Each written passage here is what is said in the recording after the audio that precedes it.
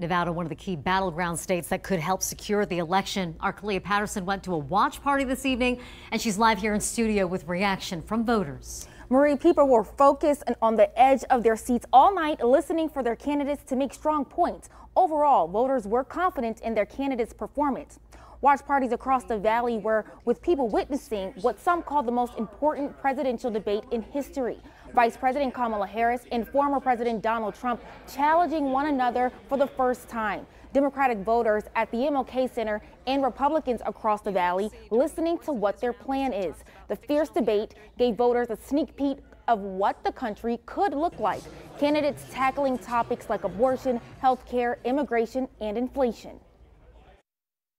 I was very happy with President Trump's performance. I was very disappointed how it seemed very much three on one. It seemed like they were trying to gang up on him. They weren't fact checking uh, Vice President Harris. They were they spent most of the time fact checking President Trump. Very well controlled and moderated. Right. The questions were succinct.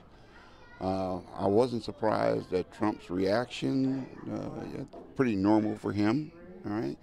I thought Kamala Harris did a great job in responding and putting her points of view out there. So to clarify a lot of things that people may not have known about her. The vice presidential debate is on October 1st at 6:30. You can watch that live here on News 3. Live in studio, Kalia Patterson, News 3. Kalia, thank you. And we're also asking for your reaction online. We wanted to know if there was a topic or issue that you wanted to hear that wasn't addressed. Becky commenting, saying that the economy she feels is the number one issue most important to voters. Annie also responding, saying she wanted them to address gun control. You can still take part in the conversation by heading to our News 3 Facebook page.